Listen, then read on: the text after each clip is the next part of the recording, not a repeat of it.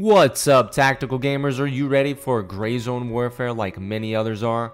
Well, stick around so I can give you the latest information on Gray Zone Warfare Early Access and other important information. But first, let's talk about this week's past playtests. I know some of you are very new to Gray Zone Warfare, so if you're looking for anything and everything Gray Zone Warfare, you have came to the right place. I highly believe this game will be the next big tactical shooter, but first they need to fix some major issues. More on this in another video, so stay tuned. I speculate there's a chance for another playtest, and if there is, and I get keys, I'll be handing those out to subs and whoever is in the Discord. So join my Discord, it's in the description below. Hopefully they do choose to do an open to all sign up test because I know for a fact that would bring even more people to Gray Zone Warfare.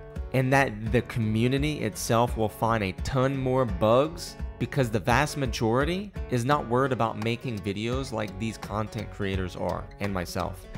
And I know some close friends who have broken similar games before, like Escape from Tarkov.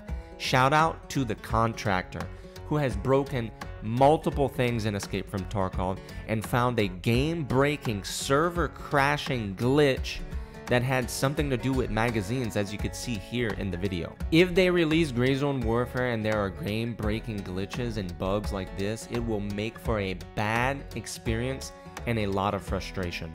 In a recent podcast on the Pogcast with Jesse and Veritas, Mara stated he's creating the experience, not the frustration. This was directed at Escape from Tarkov's frustrating experiences. I hope he stays true to his word and gives the game the time it needs for enough optimization to where people are not turned off from the game and actually give it a chance. In my opinion, Madfinger Games should give Gray Zone Warfare at least, at the minimum, 30 more days to fix everything they can. This will make for a more enjoyable experience. The last thing they should want is anyone to refund this game and leave a bad review due to something that could have been fixed easily before early access, especially if it would have only taken them another month, you know, to fix these major issues. However, I will not complain if Gray Zone Warfare would release like tomorrow. I'm just simply wanting what's best for the game and it to have its best chance. Because in the end, they only get one shot at this.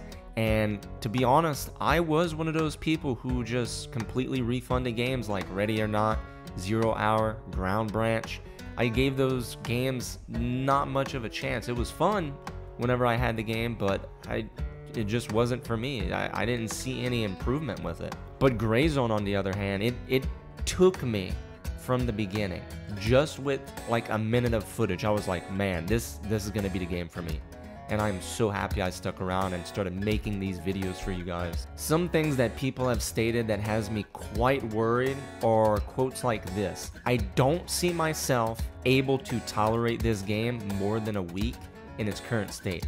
I'm not gonna tell you who said this. It's that's wrong for me to do that if I would. I'm not sure why this person stated this exactly, but it seems like some people are on edge with Gray Zone Warfare and getting really frustrated, probably because they're playing the game wrong, and others are extremely satisfied, and those are the people that's probably playing the game right. Shout out to Timmy Tenders, or, uh, well, Timmy Tactical now, but uh, he's been covering the game and doing a really swell job. So, uh, check out that channel, guys. With that being said, I have er overheard some creators saying perhaps a week after the test, the game will release.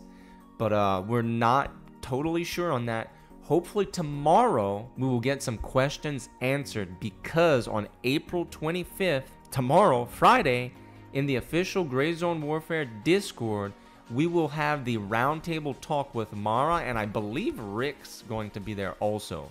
I'm not sure if we're going to be able to ask questions or if they already have some questions written down, but we will get answers to some questions. Hopefully those are some that we really, really want, like release date, then another test, all those things. But uh, don't forget to like, comment, and subscribe, and let's do this, boys.